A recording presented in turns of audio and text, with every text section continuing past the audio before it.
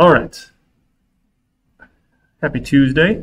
So we're going to start our little ethics seminar here uh, with a PowerPoint that is ripped off of one of my colleagues. So this is actually PowerPoint, which is super weird. I don't usually like PowerPoint, but um, this is not code material.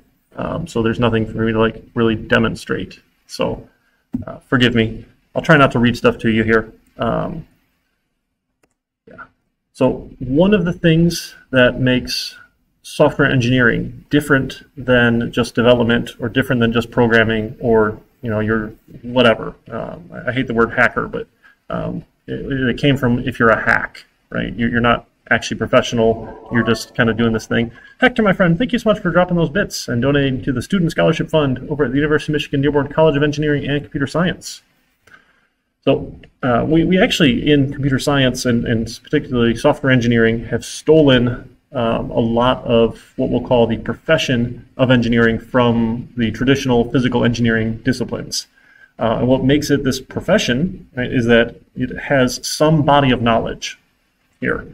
Um, and we, we understand that all of this, uh, the study that goes into it, and you have to apply judgments to it, uh, Gigi, yeah, we can talk about the HashMap Lab later. Uh, we'll probably have time after this.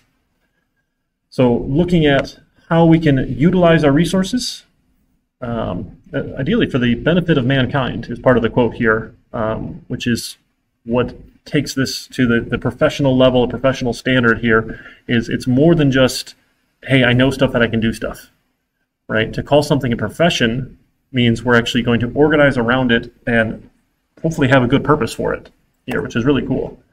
Uh, so one of the things that they look for in this accreditation, this is ABET, I forget who they are, but they're our accreditation body for our engineering degrees here at uh, U of M, and a, a, relatively common accreditation body for engineering programs around the country.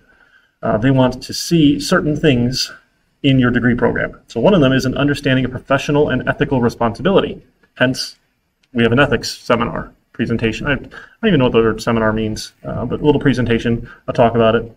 especially early on. Now, we don't necessarily have enough time to do this in like the intro to programming class, uh, but this is generally for undergrads, like your second programming class. You're probably still a freshman here, so we want to start you thinking about ethics early here. Um, so again, how you become a professional, right? It's not just, hey, I can write some code or I can run some code I found online, right? Again, that's sort of where we get the term hacker. You're just a hack if you're just running out of people's code, don't really know what you're doing. But it's study, experience, and practice. Um, generally, there's a, a, defined comprehensive education that goes into it. So for any professional organizations or professional bodies, they set what the standard is to get into that profession, right? So as a medical professional, there's certain comprehensive education programs they have to go through before you can be licensed as a medical doctor or whatever you need to be there in um, that field. And then again, uh, this idea of serving humanity is what what takes this from just I have skills and knowledge to being a true professional. Uh, I know it sounds kind of crazy, but this is uh, one of my favorite things about the field is that we can actually do good things with it. Right? We're not just benefiting ourselves. So engineering as a profession, right? Definitely, there's an indispensable need for engineers, right? All sorts of engineering here, uh, particularly software engineering, as like everything today runs on computers, right? I mean, literally, probably everyone now walks around with a computer in their pocket, right? Our, our phones are amazing uh, tools here. Um, engineering requires discretion and judgment. That's actually hard to standardize, right? There's judgment and, and ideas that you have to put into, well, what choices am I making here? Uh, we don't have unlimited resources, so we can't do anything and everything. We have to make choices. What is the right thing for us to focus on? Uh, it's knowledge and skills not commonly possessed by the general public. Again, as a profession here, uh, if everybody could just do it, it wouldn't need to be a profession. Um, this group consciousness promotes knowledge, professional ideas, and social services uh, a legal status as a profession, uh, a well formulated standards of admission, and a code of ethics. Uh, and this code of ethics is super cool. Um, so there's uh, two out there we're going to look at. Um, yeah, so why, why should engineers follow a code of ethics? Um, so interestingly, right, other professions, doctors, lawyers, um, they, they deal directly with their clients, the people who benefit from those services. We don't. I mean, even physical engineers, people who build cars and bridges and roads and things, they're they're not like asking, "Hey, did you drive over this road? Did you enjoy your, your trip over the road?" I mean, they wouldn't want the feedback in Michigan anyway, but um, we we don't really interact with them directly. Um, so, depending on what the organizational requirements are, uh, certain engineering levels require a bachelor's degree, not a master's or higher. And, you know, medical doctors need their medical degree and, and things like that. Um, lawyers need their, is it a Juris Doctorate or something, a JD degree? I forget what it is. Um, but they all set their own requirements. So generally for engineering, it's a bachelor's. Um, is, is a little bit lower level. You don't have to go quite so specialized here. Um, so when we're dealing with people and interacting, there's etiquette, which is our customs and norms. There's laws, which are the hard and fast, you do this or you go to jail or have some sort of penalty. It's not always jail. There's morals, what we think is right and wrong. And then there's ethics, uh, which is surprisingly different from morals here. So our etiquette, right, is the customs that sort of what is accepted behavior, what's normal here for our etiquette. The laws, right, the rules and regulations that you do this or there's some consequence here, uh, generally around safety, is one of the big ones here.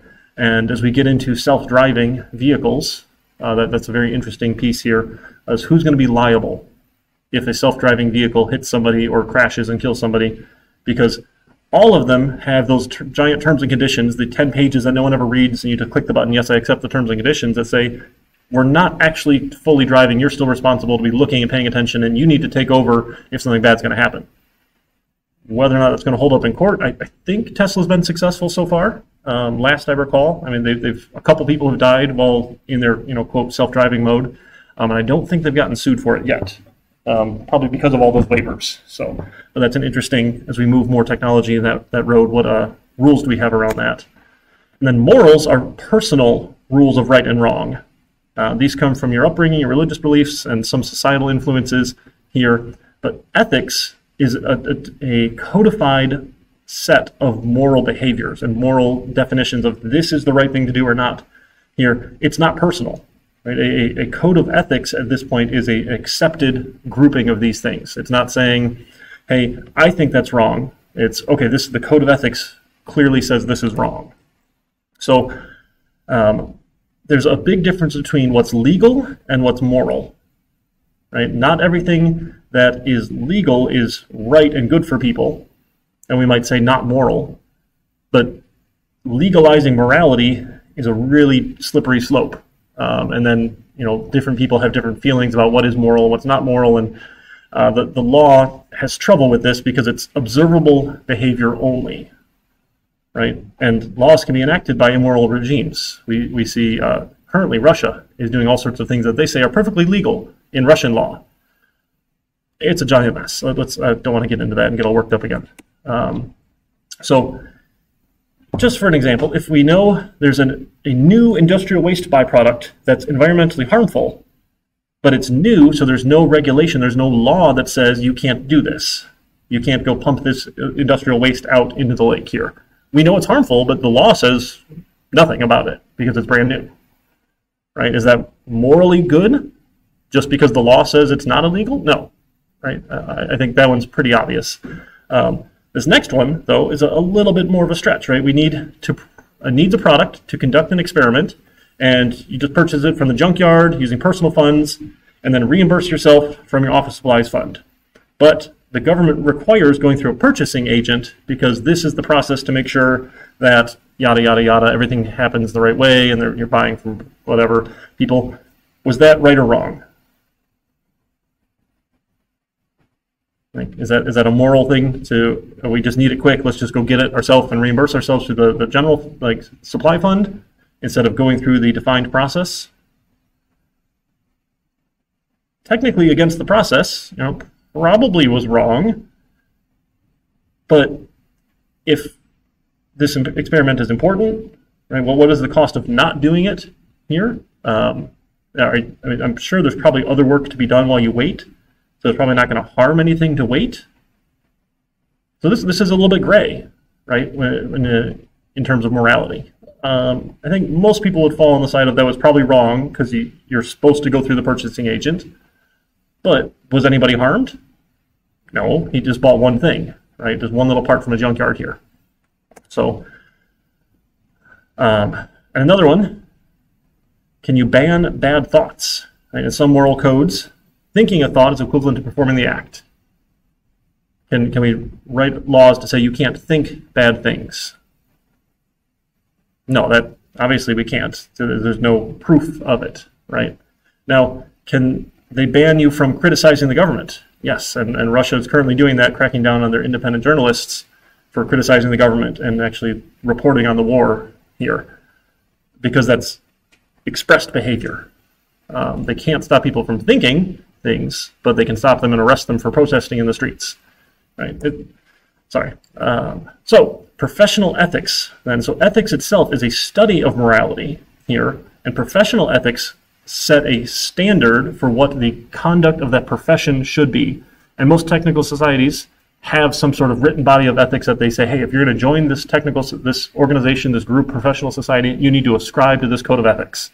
And this is how we're going to define ourselves here so there's fundamental principles, and then there's fundamental canons that kind of expand the principles with a set of rules. So here's the principle, and then the, the canon describes, okay, this is how we go about fulfilling that principle here. Oh, ABET, Accreditation Board for Engineering and Technology. I know what it means now. So, one of the fundamental principles here is that engineers should uphold and advance the integrity, honor, and dignity of the engineering profession by and then some canon. Using their knowledge and skills for the enhancement of human welfare, being honest and impartial, and serving with fidelity to the public, their employers, and clients. And this is a hard list here. Striving to increase the competence and prestige of the engineering profession and supporting the professional and technical societies of their disciplines. Whew, I did read that to you, I'm sorry. I was trying not to read things, but there's not too much to say here. So, one of the things we should do then, right, to uphold this principle right? We should hold paramount the safety, health, and welfare of the public in the performance of our professional duties. Right? The, the safety, health, and welfare of the public is more important than what we're trying to accomplish. Right? We can't be sacrificing health, wealth, health and welfare of the public just to meet our goals. And this gets tricky, um, especially when you look at things like Bitcoin and, and the environmental costs of just essentially wasting a ridiculous amount of power to have a virtual currency. Um, I, I, I, struggle with this, and like, yeah, I'm, I'm i own some crypto because I have the fear of missing out and, and want to be in on it, but um, it, it's very wasteful. Right? It's so that's I, I, think goes against a little bit of our, our health and welfare of the public if we're just wasting electricity. Uh, we should perform services only in areas of their competence. So this one is probably more important for the physical engineering, like civil engineering people. If you don't know how to build a bridge, don't build a bridge. Right? Don't be the lead engineer designing a bridge if you don't know what you're doing. Um, we shall issue public statements only in an objective and truthful manner. Act in professional manners for the employer or client as faithful agents or trustees. Avoid conflicts of interest. Build professional reputation on the merits of their services and not compete unfairly um, act in a manner to uphold and enhance the honor, integrity, and dignity of the profession. So I, am a, I'm a fan of this one here because uh, very few things upset me as much as malware. Right? People using their their software abilities to go and cheat and steal and ruin things for other people. It upsets me a lot, um, and it you know it, it makes people look down upon software engineers. Right? So that one's uh, that one's got me sad. And then we shall continue the professional development throughout their career and should provide opportunities for the professional development of those engineers under their supervision. I love this one as well. So as you're rising up in the ranks, you shall be providing opportunities for professional development of anyone you're supervising as well. Right, which is super cool. Um, and I think this is amazing. A, a lot of times you'll hear about organizations that have some really weird toxic cultures and the, the engineering manager doesn't want to let any of their star engineers go so he sabotages them so that they can't move up to other places in the company, uh, specifically Uber. They are a nasty, nasty company. Please don't go work there. Um, it, it's just awful. I hope they've gotten better, but it's it's terrible. Uh, really toxic place to go to go. So, right, supporting others is, is super huge. So, in terms of conflicts, right, something that's factual is really easy. I say it's snowing outside, and you say no, it's warm and sunny that's, that's a fact. We can go and verify that really quickly, right? How we're applying something based on some information. It's a little bit more abstract, a little bit harder. Purely conceptual, without any actual application here is even harder. And then moral issues. I think it's wrong, you think it's right. You know, we can argue all day long and we're not going to change each other's minds because morality is a personal belief here. Um, and I, I don't know of anybody who's ever changed their morals because someone told them they were wrong. If you have if you have an example of that, I would love to hear it. But I'm pretty sure nobody changes their mind because we told them they're wrong. Um, so, should drivers be allowed to speed? It's a bit of a moral issue. Right? We, we have a law, we have a regulation. Uh, my, my kids ask me all the time why I'm always driving faster than the speed limit. And I say, well, usually you can go five over the speed limit and this is fine. And that's about how fast traffic generally goes. And if I'm going slower than that, then I'm impeding traffic and I'm getting in the way. And they're like, but dad, the speed limit's this. And yeah, but we don't do that. Usually, you know, you can go up to nine over and you'll probably not get the ticket to hit 10 over and eh. So uh, a little more conceptual here is speeding without adverse driving conditions, going greater than 70 on our freeways, or with adverse driving conditions, speeds that will cause an accident. So it's technically speeding to be driving 70 in the snow on the freeway because you're likely to cause an accident at that point. Um, a more applicable issue, so this was just conceptual, is this here, and then an actual application. So there's a little bit of rain here. Is John speeding when he skids off the road traveling 55 on a highway posted for 70? Was he speeding? Well, he wasn't even going the max. He was going a little bit slower. There was some rain. He might have been going even slower. But did you expect to slide off because the rain? Probably not. Usually we have pretty good tires nowadays. The roads don't pull up the water. The hydroplaning stuff is scary. Like if the water's like just enough, uh, the hydroplaning's no good. And then factually here. I got stopped for speeding. Which was out of calibration, the radar gun or my speedometer? Officer, my speedometer said 70. I don't know what's wrong here. Well, the radar gun said this.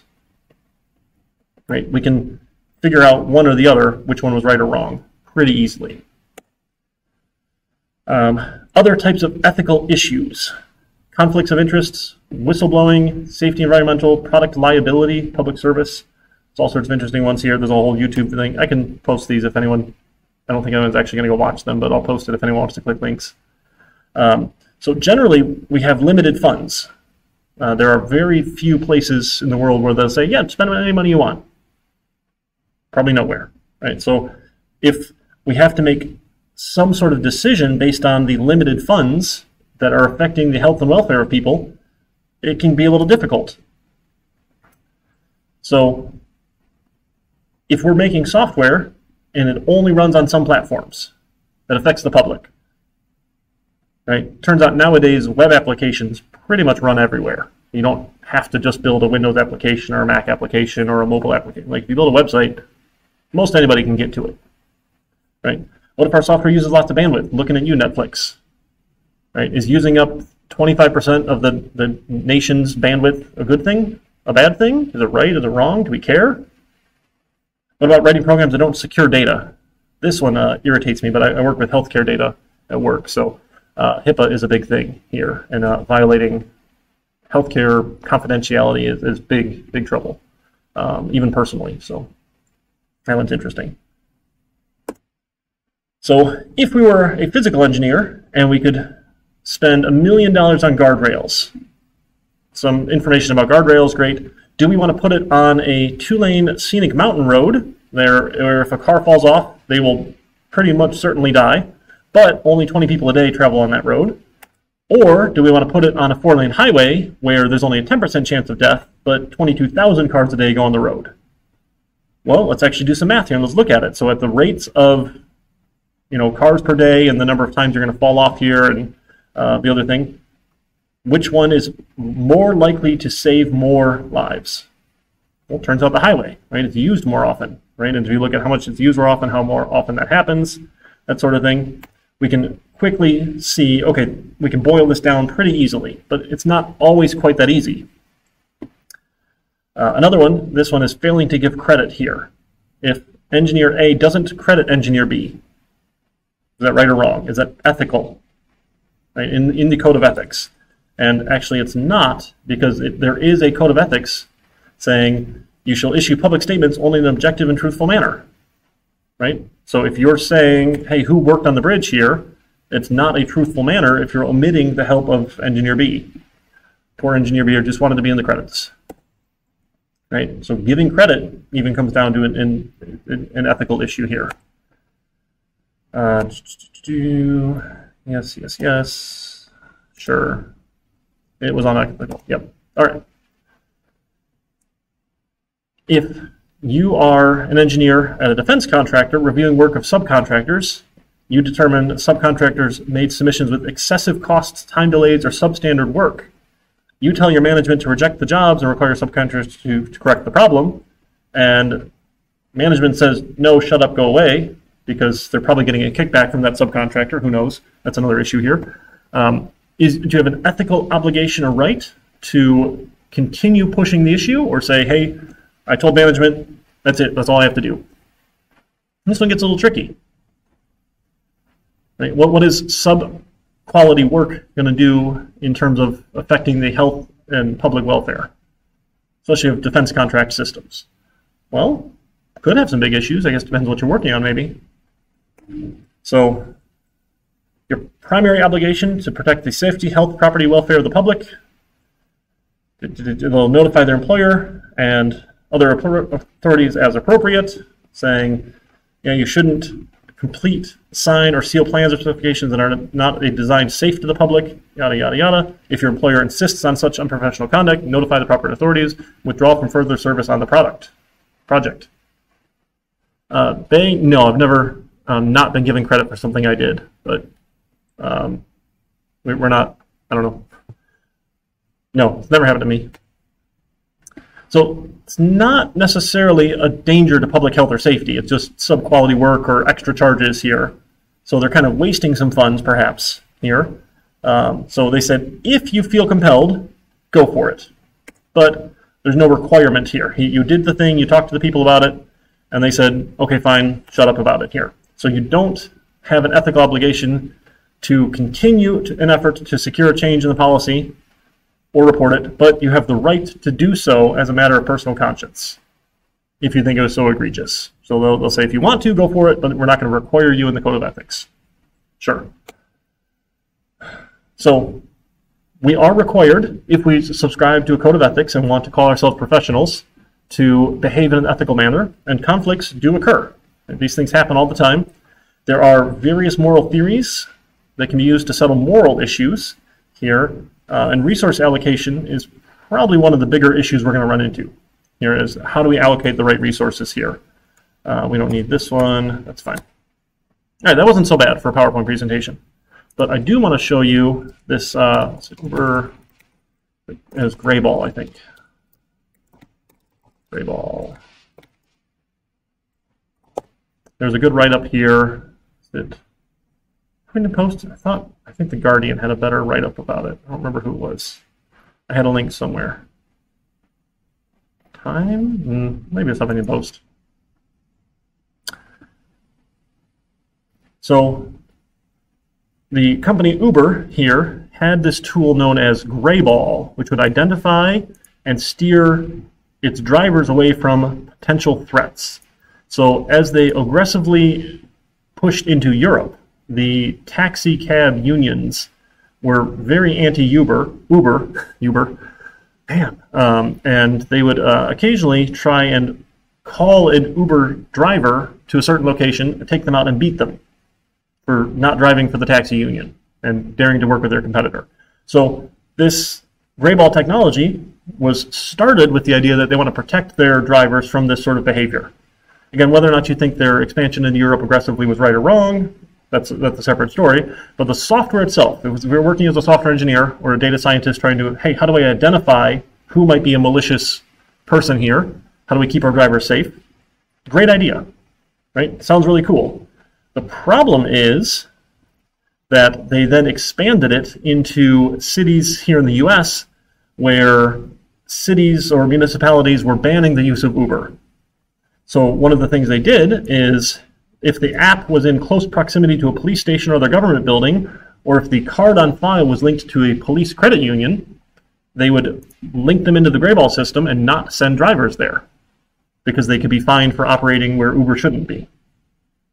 At that point, um, hmm, are we being very ethical?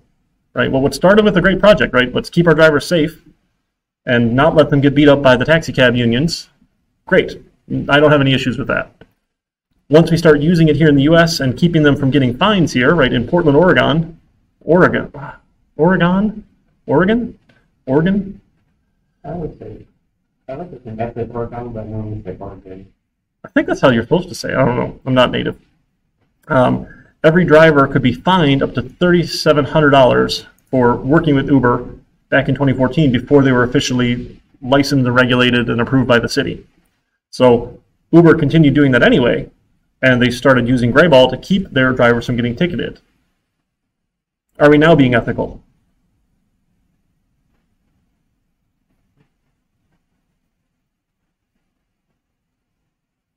Right? I mean, no. We're, we're flaunting regulations and, and, and rules and laws and saying, oh, we don't care. We're just going to not let our drivers get fined here, but we're going to keep operating when the city says we, we can't be. Right? It was operating illegally against the, the laws here. This one was, was pretty clear. Yeah, thank you, Bell. Definitely unethical here at this point. So what would we do as an Uber engineer, as a software engineer working on the Grayball project or code for it?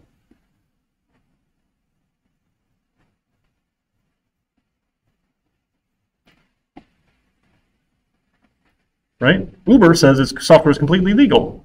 It keeps its drivers safe more often than, than circumventing sting operations. We're still using it to keep our drivers safe, but we're also doing this unethical thing with it.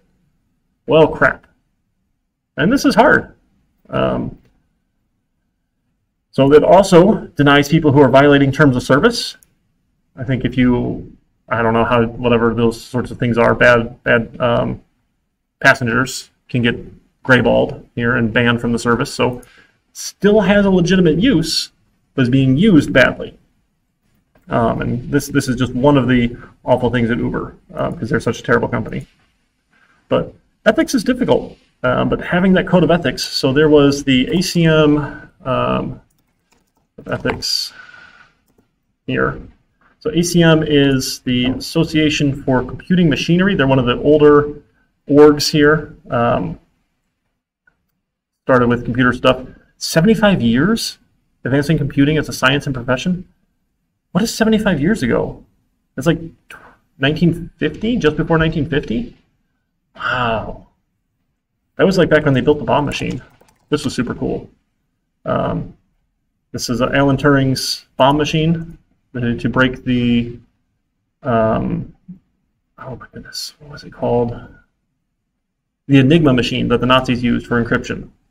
He built this, or helped design and build the Bombe. I'm sure it wasn't just him, um, but they were able to 3,500 Enigma messages intercepted each day and decipher them within two to four hours.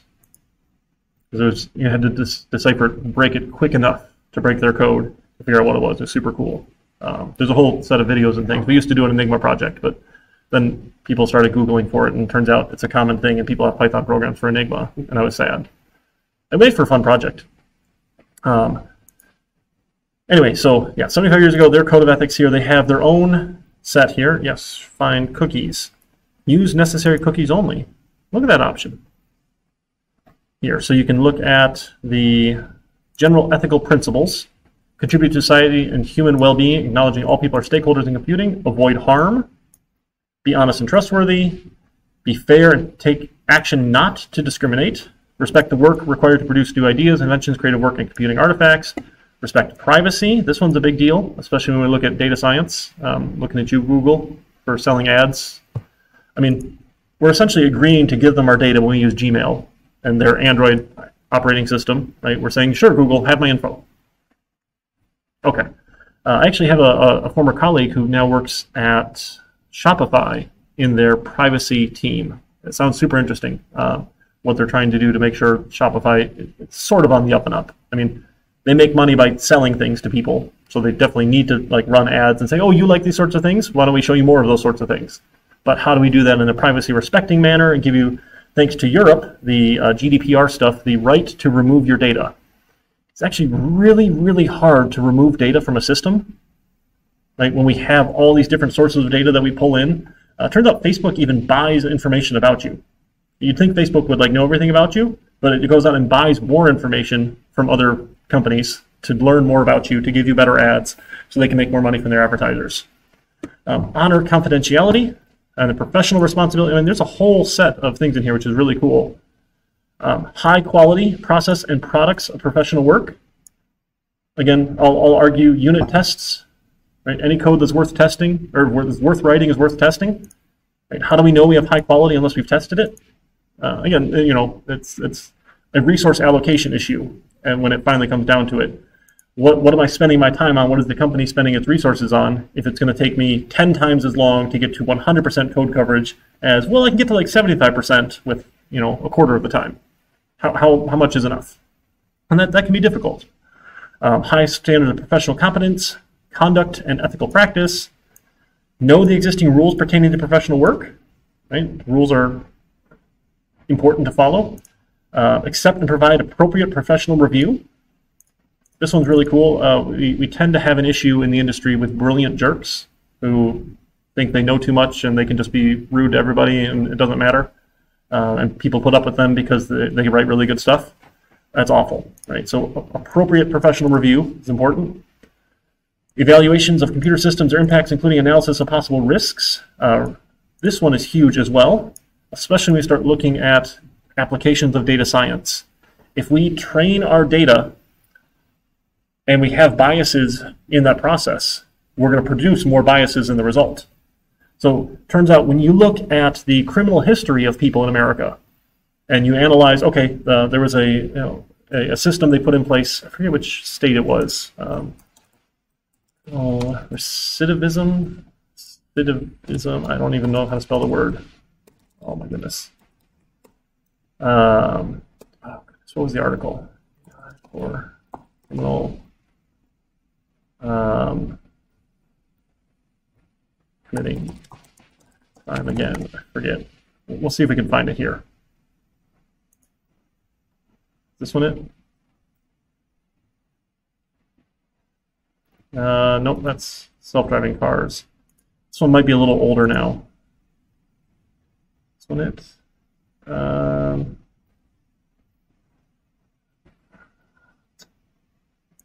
this might have been it.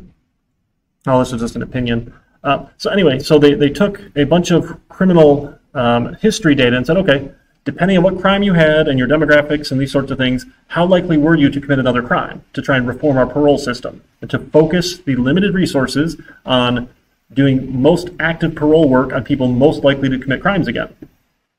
So it turns out they fed the data through, and uh, when it came back out and would rate people and say, how likely are you to uh, commit another crime, it said people who were black or of color were much more likely to commit crimes again. That is what the data said, yes, but the data itself was biased because of a policing bias against people of color. Right? Turns out more often than not, the white people would get away with it and not go back to prison for their crimes. But parole officers would be harder on people of color. So the system was trained on data with assumptions, with biases, and it spit out a result that was also biased. Uh, so we do need to be careful then at what the possible risks are of training systems on data with biases, and that's a really hard problem to do. That's one of the interesting uh, new research areas here is uh, explainable AI, trying to, to, have the AI as it's learning data and making decisions and, and, deciding what to do here, be able to give a nice clear track and trail of, okay, if this is what I analyzed, this is what happened here. Uh, so it's an XAI is a super cool um, look at this. Like the first hit here, this is going to be great, right? I don't know what AIMultiple is, but sure. Explainable AI is the new big thing here, right? So this, this is uh, a, a new interesting place of research here. Again, analyzing possible risks, being able to explain our AI is really useful for that sort of thing. Um, only work in areas of competence, right? If you don't know what you're doing, you need to tell somebody. This is one of the worst things junior engineers can do is just sit on a task and sit on a task and sit on a task and not reach out for help. Right?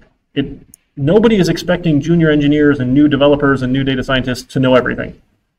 So if you are given a task and you don't know what to do, you need to go out and ask for help. Right? Uh, it just slows everything down if you don't tell anyone that you're struggling with it and then you miss your, your milestones and your deadlines here. Uh, foster public awareness, understanding computer-related technologies and their consequences, right? Some of the consequences are really good. We've done amazing things with technology, and we continue to do so. There's really cool stuff that's happening thanks to all of the, our technology. Um, access communicating, communi computing and communication resources only when authorized or compelled by the public good. This one is super interesting here. Compelled by the public good here. Um, Sure. Uh, there are websites now when you go out and they will run JavaScript code behind the scenes, which means your browser is running the code to mine Bitcoin for them. Right? And that's actually someone's arguing that this is probably a more fair way than running ads for you to get the free content, free whatever you're getting from them, to give up some of your computing power to mine Bitcoin for them so they can make some money mining Bitcoin because so many people run ad blockers. Now, that's another interesting ethical question is it is it ethical to run an ad blocker? If I go out to a website like uh, NewYorkTimes.com and I block their ads, they, I think they have ads, don't they? Felt like they had. Oh, we might not get ads because we're on the U of M network. Okay, let's go to someone else. Um, how about uh, what's another news site? Where, where, should we try? How about the Free? Why not? Our Free Press. This is Detroit Free Press. They're going to have, I'm subscribed. I'm probably not going to get the ads. Dang it. there we go. Okay, we still have an ad. Uh, imagine I wasn't signed in.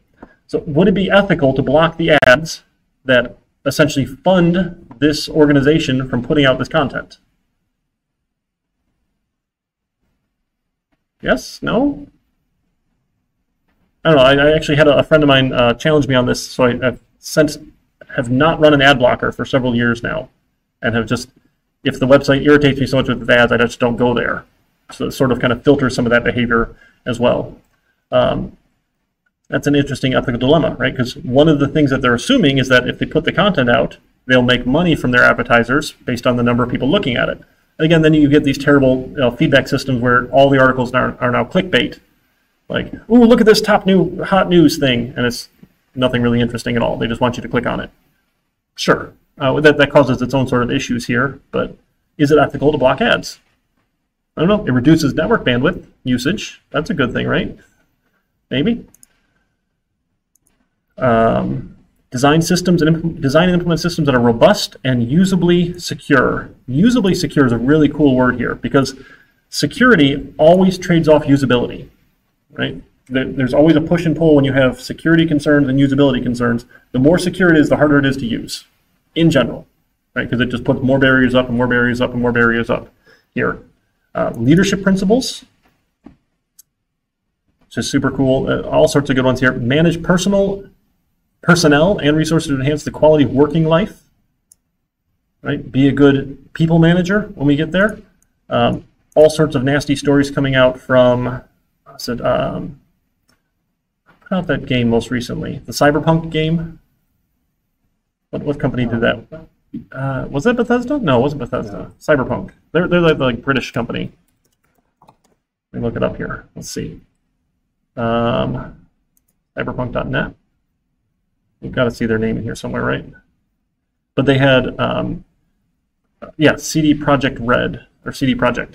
Um, they had initially come out and said, "Hey, you know, everyone likes this game, but we're not going to have forced overtime." The, the gaming industry is notorious for last minute deadlines and crunches and pushes and, and it's it's a pretty awful work environment sometimes so they said hey we're not going to require any mandatory overtime we're going to treat our developers nicely we're going to make them they were going to work regular work weeks here and if we have to push the deadline out we'll push it out well they pushed it out i think it was twice and then after that they went back on the policy and said well if they want to work overtime we'll pay them overtime right and you know they're asking to do it which whether or not that is I, I think that's an issue in and of itself. Um, they're like then some of the, the teammates are, are working overtime and some are not, and had all sorts of issues here. Uh, but treating them nicely here is is a little bit rough, right? Managing and making sure the quality of working life is good here is important. And this one actually usually will help your business, right? If you're keeping your employees happy, they're more likely to stay, which should be a good business decision, that sort of thing, unless you want to have a certain amount of turnover. Um, create opportunities for members or of the organization or group to grow as professionals. Right? Don't keep them stuck in the role just because they're really good at it. Allow them to grow as a professional, more responsibilities and things. Uh, use care when modifying or retiring systems. Right? Be careful when we change things or get rid of old systems. This is super cool. Um, recognize and take special care of systems that become integrated into the infrastructure of society.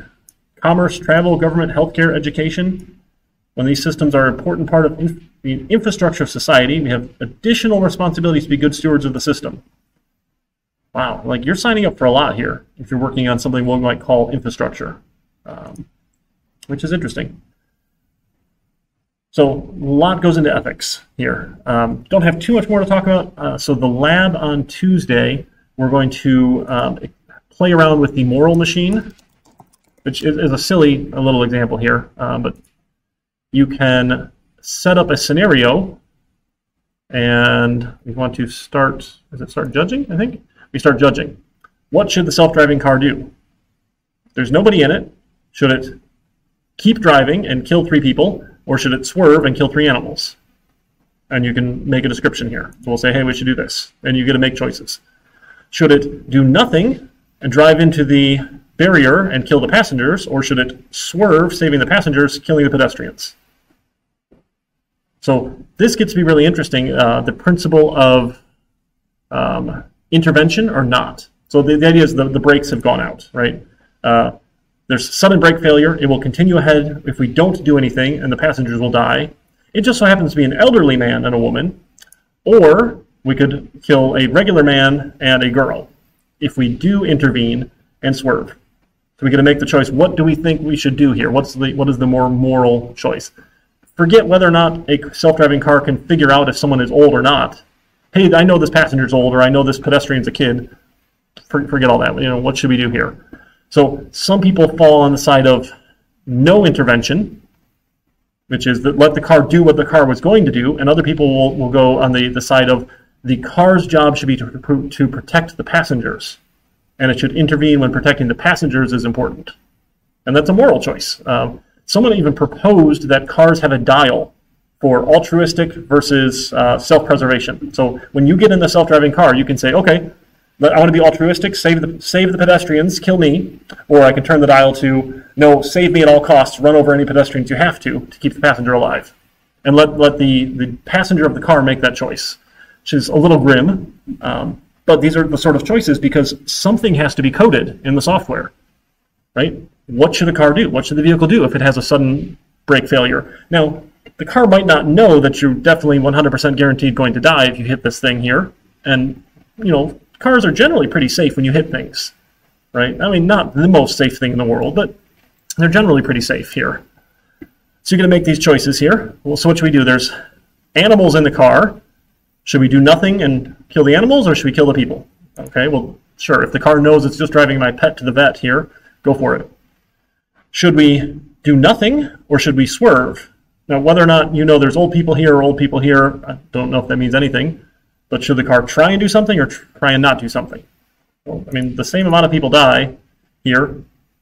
A large man. So some of the choices, maybe your vehicle can determine whether or not someone is obese or not. So they must be more likely to die. Oh, sure. Okay. Uh, we'll, we'll do nothing. And you get to make all these choices here, right? Um, again, the not swerving, I think, is, I don't know. Now, these people are crossing when they're supposed to be, but someone's a criminal here. Should we run them over? because the car can't fail, or should we drive into the barrier? And oh, this person I think is a doctor. Yeah, the male doctor will die here instead of these other people here. And what should we do? These people, we don't know if they're jaywalking or not. Should we drive into the barrier or should we do nothing? And you get a, there's also and you can set up scenarios. These people are jaywalking. Should we kill the jaywalkers or should we swerve and kill the not jaywalkers? Well, obviously we should kill the jaywalkers. Should we kill the not jaywalkers or kill the jaywalkers? Should we swerve to hit the jaywalkers? Sure. And, and, and it's it's it's a little interesting. What do we do here? They're jaywalking. We should kill them. Um, not jaywalking. Oh, they're elderly though. Should we kill the elderly or not kill the elderly? Right. I'm going to go with the non-intervention here. And eventually, when you do enough of these, uh, we'll say non-intervention. It gives you a little report of what was more common. Yeah, we'll just kill the dog. So saving more lives does that matter a lot or not as much? Does protecting your passengers matter to you or doesn't matter a lot, right? It does not matter to protect the passengers or it does matter to protect the passengers. Does it matter if they're jaywalking or not, right? Did that affect your decisions? Avoiding intervention matters a lot or doesn't matter, right? I, I generally will fall in the let's avoid intervention if possible here. I think that's easier. That's probably just from a software perspective, easier to say we're going to avoid the interventions because if then your software says, oh, I'm going to swerve and kill these people, well, you made your software actively made the choice to do that rather than, oops, the brake, ran, brake lines failed and this is what happened naturally. That one's tough. Do you have a gender? Apparently, I prefer the men. Wow, I didn't know that. Uh, okay. Species preference. Do we pr- prefer the humans or the pets? Yes. Age preference. Do we are we going to kill the young people or the old people? The fit people. Are we going to kill the larger people or the athletes? And social value. Seriously? there was like one question here. Apparently, I value the doctors more than the criminals. Uh, but uh, this is, you can go and actually set up these sorts of things. You can design them yourself here and figure out what we're going to do um, and, and set up these scenarios. And the idea here is that we can sort of learn what the general public would have to say about morality and make these choices here.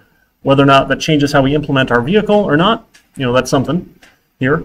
Um, so we'll play with this here, and then we'll, we'll talk a little bit about more about Uber um, as well. Uh, I want to find that um, that Grayball article, and then ask you to write a paragraph saying what you would do if you were assigned to the Grayball project, right? And like like that one um, case study was brief is, hey, they told management they're overcharging us, they're subqual material, and the code of ethics said, well, if you want to keep complaining about it and take it up and report it, go for it. But if if you just said you did your duty, you, did the right thing, we're fine with that too. And, and maybe that's what the choice is when it comes to Grayball. But I, would like you to like formulate what your response would be and actually think that through. And you know, this is what I would do if I was given this sort of project.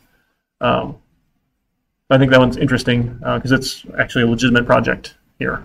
Um, or you could talk about um, cryptocurrency if you want. Although apparently Ethereum is moving to a proof of stake this year, moving away from the proof of work uh, electricity burning system. So if that can happen, I'm super excited. We'll see. I may also have a lot of money tied up in Ethereum as well and be personally invested in it succeeding. So uh, we'll, we'll, you know put that caveat out there. Yeah, the HashMap lab. Uh, we can talk about that. So let me open up. Uh, oh my goodness, PyCharm here. We'll take a look at that. So when we're doing the HashMap lab, HashMap lab, my goodness. Um, grab this one here. So we want it to resize if it gets smaller, but no long, no less than 10%, um, and no smaller than the minimum size. So we're going to go find our hash map program and add in into the remove. We need to check to see if we should resize smaller. Let's go to our, not the sorting project. Let's open, I think that was, yeah, hash maps was our project here. There we go. Excuse me. So as we remove things then, um, where's our delete item? Here's delete item. We should see if we need to resize here. So we need the another factor for resizing smaller. This is our load factor to increase here. How about a, I don't know, a shrink factor maybe? I don't know, whatever you want to call it. Here it's fine. 0.1. So let's say 10% for the shrink factor. We can say, okay, um, as we go delete a, a value here, we can say, hey, if my self dot number of items is greater than the starting value, uh, so it's self dot the starting initial capacity, uh, starting capacity. So if it's greater than the starting capacity, and it is self dot less than the length of, or no, self dot um, less than the length of self dot storage times our self dot shrink factor. Right? So if we are over the, the starting capacity, which is our first requirement, so we can never get smaller than this, and we're less than 10% of the storage size, right? As that internal storage, the number of buckets that we have increases. If I have too many of those, we want to be shrinking down. So if it is, then I need to resize. So the problem with resize here is that it doesn't take the factor. So what we want to do here is we want to take a factor for resize, and I can say, okay, let's multiply by the factor. So I could either double it or I could shrink it. Um, and then I also, now for our purposes, this will always be a whole number because we're going from 10 to 20. 20 divided by 2 will be 10, so on. But we want to make sure that it is an int value in case we ever use lengths that are not whole numbers here. Uh, which one do I not need? I don't need those parentheses, right? So just in case, it, you know we're going to run into it, but it's, it's a good, good practice here. So if we're going to do that, then we'll call self.resize, and we'll give it a factor of 0.5. Right? We'll say go down by half here. We got to find our other call to resize here. Uh, where's our other call to resize? Um, I think it was when we were adding items, right? Adding items, appending. Uh, line 52. Oh, yeah, thank you. 62. So we resize the factor of 2. We want to double. So, and maybe those should probably be um, in here. So um, give them some nice names so they're not those magic numbers here. So the load factor, um, so we'll say uh, fact, uh, growth factor, maybe. Growth factor. Know, does that make sense? And then a, a shrink factor. I don't know if those those make any sense or not, but that way we don't have a you know just a number here. We can see, hey, this is what it is. So self dot shrink factor. Oh no, not. Did I already call that? Yeah, I did. Uh, oh my goodness. Wait, I need to come up with better names here. Um, uh, diminish uh, value to decrease size by. Sure. Why not? Uh, sometimes my variable names are not great here. And then how about we do this then? So value to increase size by is 2, right? So we either double or we have. Again, not super interesting with these names, and we're probably not likely to change these sorts of things, but if we wanted to do some sort of optimization where we're trying to find the next proper prime number and other sorts of nonsense, uh, we could do that. So we're resizing larger here in our 62, you said right? Yeah, resize, self dot, be able to increase size by. So both ways should work, right? In our resize method, we're just changing storage either to be bigger or smaller. And we already saw if we wanted to change that factor, I could jam 100 items into 10 buckets, right? If our factor was, hey, I can get up to 10 times my storage size, Python will let us do it, right? We are welcome to use those buckets. We could have a single bucket storing all of our data. It would not be efficient at all, but we could if we wanted to. Uh, again, that's why it's nice to have these sorts of things here. And we'll just go and re-add all the items here. So then we wanted to test it, right? Uh, make sure we can add and remove and checks the lengths of the internal storage that's working as expected. So the internal storage should go from 10 to 20 when we need to grow after we get more than 75%. And then as we reduce items, when we get less than two items, it should shrink back down to 10. Right, it's kind of what we were doing to test that. So we'll make uh, another, so we'll say it uh, size testing equal to hash map here, and then we'll say for value in range. So if we add eight items, right, it should size up. We'll just do 10 here. Take our size testing key of the value. We'll just assign it value. Why not? So we get 0, 0, 1 is 1 for our maps here. And then we're going to print out the size testing dot storage and the length of that. Right? It's kind of kind of messy actually going through and looking at these internal values, but Python lets us do it. Not good form. We're just testing this out here. A unit test would be more proper, where we could actually go and test this sort of stuff out here. Um, let's see. Yeah, we'll just run that. So we should see the size should go up to 20 here. And then we start removing items. So then for value in range, let's do uh, 9. If we remove everything but the 10 here, we're going to take our size testing. We're going to delete size testing key of the value. And this delete syntax is super weird, but I'll, that I'll do it here. And we'll print the storage size again. It should go back down to 10 because we have one item left. Oh, it didn't yet. Uh-oh. Something's not working quite right then. So we want uh, less than or equal to, I think, our shrink factor. That might do it here. Nope, still at 20. Okay. Um, why is that not working there? Let's see. So remove the item. Well, the, the number of items should be down to 1. Here, 1 should be less than the length of 20 times my shrink factor. Here, so let's put our, our breakpoint here and see what happens. And let's, oh, uh, did we have the bug in resize? No, we did, uh, we did redo storage. You took the number of items here. Oh, let's uh, run this in debug mode and see what happens. Actually, let's, uh, oh yeah, so we don't need the breakpoint there, so we'll continue on. All right, so we're deleting items. Hi. Uh, can you give me like five more minutes? Okay, thanks. I'll be right there. uh, so we have currently then in our self, our hash map here has our storage. We have one bucket apparently here. Length of zero. That's a, yeah, the, the lights don't work so well. There's uh, another one that's missing. So we not removed? We're deleting. What is the key we're deleting? Oh, I'm sorry. I meant the delete of coffee is why. Sorry, we didn't want to stop there. So let me continue on. That's what I didn't notice here. So now we're deleting the key is zero. Okay, now we're deleting zero. So this should be fine. So we'll continue on. Deleting one, continue on two, three, four, five, six, seven.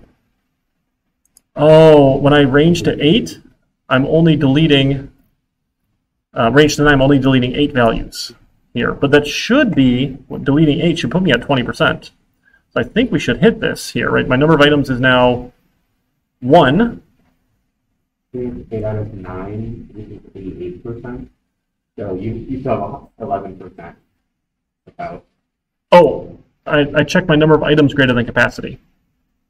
That was wrong. So we want the length of storage here is greater than the starting capacity. That was the problem here. So yeah, let's give this one a shot and give that a run. Now we shrink back to 10. All right, so there we, there's the hash map lab. Looking at that, making sure we can resize properly. Always good to test your stuff. Yeah, GG. Oh, you've got Ethereum too, more than Bitcoin. Yeah, I think uh, Bitcoin hasn't announced plans to move to proof of stake. So I, I feel like uh, if Ethereum can pull it off, it'd be huge because that reduces the whole electricity waste. As long as they don't let the system get hacked, which is the other risk, right? If, if you can have more than 50% uh, control of the network, uh, you run into issues. But here's HashMap Lab. All right, any other thoughts, questions, or concerns? Awesome. So on Tuesday, then, um, we could do lab. I don't have plans for lecture. So if you want to, uh, the time's reserved to work on the final project, and again on Thursday as well. There's no plans for lecture on Thursday. So I wasn't planning on coming to campus unless you want to meet. I'm happy to make the drive in if you want to meet. Um, if not, we'll just um, we can meet remotely as well. We'll have that time set aside to meet with you or your your groups if you found a partner or not yet to work on the final Yahtzee project. Um, and then next week we'll do the ethics lab, um, and then so I'll, I'll plan to be here for the ethics lab. If you want to come in person, if not, we can chat about the final project during lab time. And then no lectures on the 19th or 21st. So just the one last lab. Uh, I'll post that one for you folks. And then we're presenting, again, uh, 4 p.m. will be the planned start time because I've got uh, Dr. Swyman at 2.30. I should be done at home by then, but I'll let you know. All right, well, thanks, folks. You take care, and I'll see you around.